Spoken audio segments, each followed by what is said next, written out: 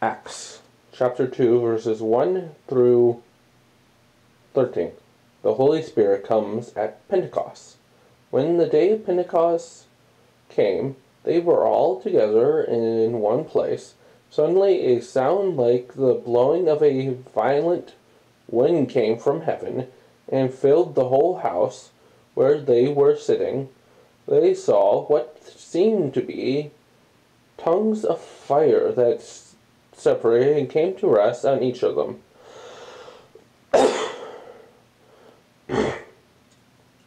All of them were filled with the Holy Spirit and began to speak in other tongues or languages, also in verse 11, as the Spirit enabled them. As these were standing in Jerusalem, God fearing Jews from every nation under heaven.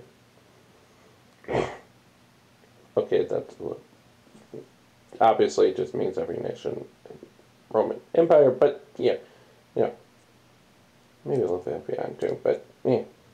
When they heard this sound, a crowd came together in bewilderment because each one heard their own language being spoken.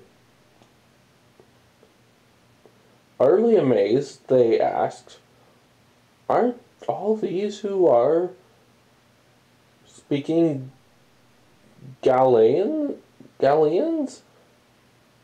They then how is it that each of us hears them in our own native tongue? Parthians, Medes, em, Elmonites, and Elamites residents, Elamites residents of Mesopotamia, Judah, Cappadocia, C A P P A D O C I A, Pontus, P O N T U S, and Asia. Asia, but back then it's modern.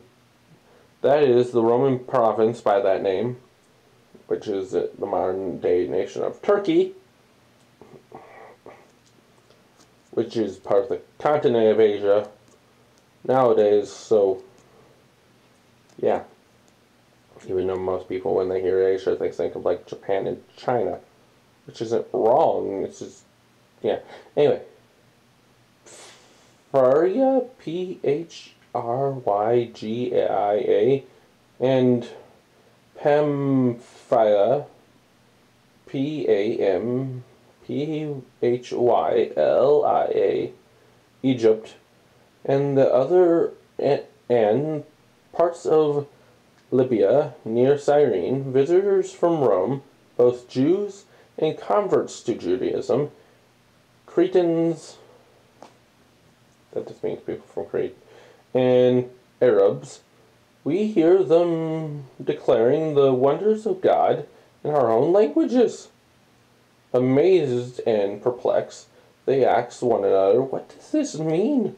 Some, however, made fun of them and said, They have had too much wine.